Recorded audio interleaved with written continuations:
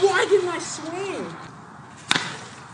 You baseball players know what I mean when you got a wild pitcher on the mound. You're scared for your life.